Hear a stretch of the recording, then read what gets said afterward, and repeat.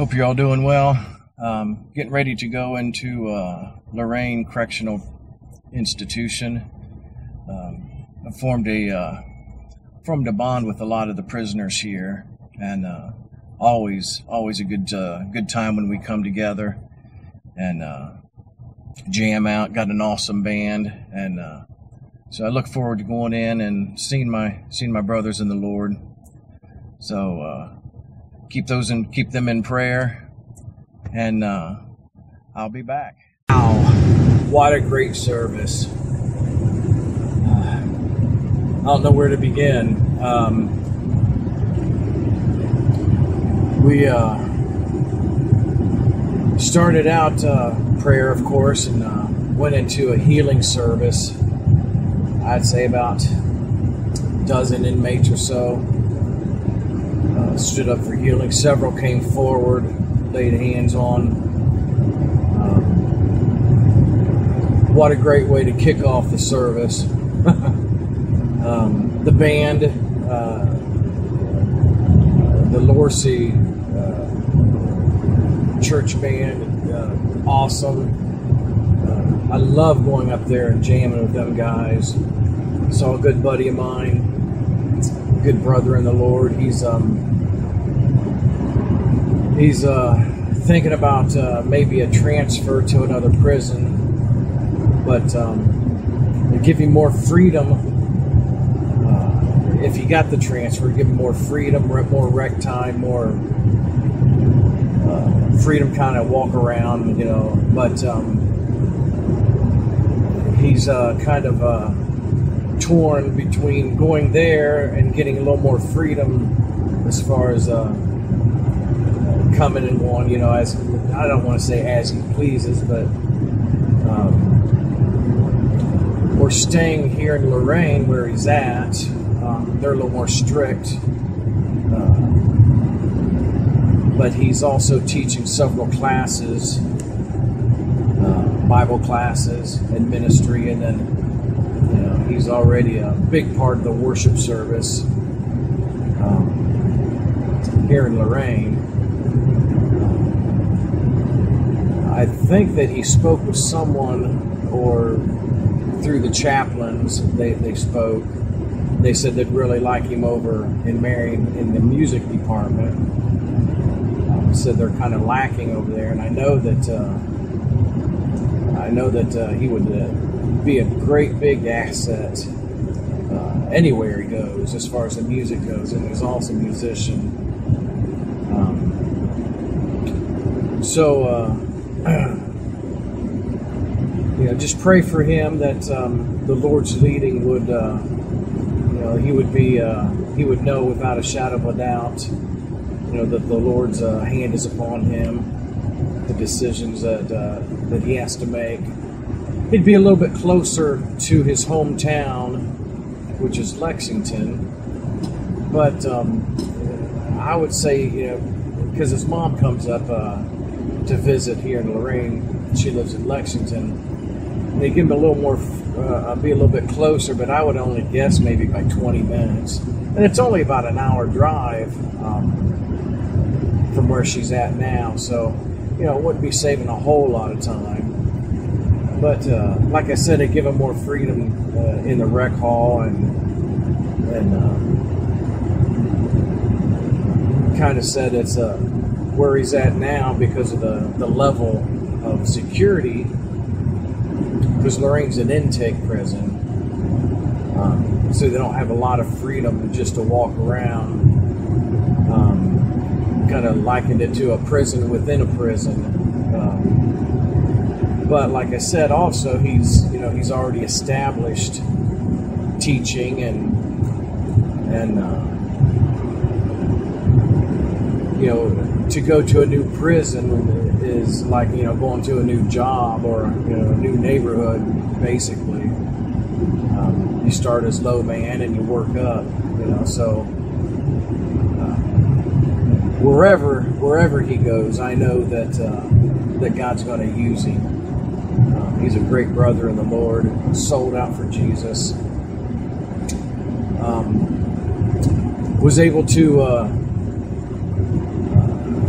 was able to sing, uh, or I sang uh, For a Moment, uh, the song I wrote for Ryan. And uh, I had many prisoners come up uh, and uh, comment that it was uh, freeing for them. So God is God is amazing. God is so good. Jammed out on the harp, played with the band. Again, it was it was a great time. I took my uh, my blue CBG in and my uh, pepper shaker diddly bow, and uh, got a lot of comments on them. Uh, there's a great life lesson when you just take uh, what you have and make it into a musical instrument. You know, junk that people throw throw away, and you can pick up and and put something together and play music on it. And it's a great life lesson for those that are in prison or or homeless or whatever it may be. That uh, you know, those that are deemed by society as uh, you know dirt on the bottom of their shoes, basically. You know, they're kicked to the curb, scum of the earth. You know what what what some people deem as junk. If you uh, you can pull it out and find a use for it, and uh, I think it's a good life lesson for the prisoners. Also, you know, they're deemed unworthy. You know, they're deemed you know the scum. They're deemed you know the bad people. You know, how can God use you? You know, if you've committed you know whatever it may be, whether it be murder or rape or uh, you know thievery, robbery. Um, but God has a plan for everybody's life, and uh, you just sometimes you just have to stand still and see what that plan is and listen to God. Uh, the cares of the world sometimes uh, get busy in life and get busy with the things around you, and we don't take time to uh, stop and listen to see what God has to say to us. But again, like I said, a great service, uh, awesome time. Can't wait till we go back in there again. And uh, pray for the prisoners. Uh, I, I, don't know them all by name, but uh, but God does. And just pray for those that uh, that was in service, and also those that didn't come to chapel. You know, because uh, going to chapel, uh, it's a privilege. Um, you know, it's it's uh, it's something that uh, they don't have to go. You know, they don't have to be in a religious service, but they choose to.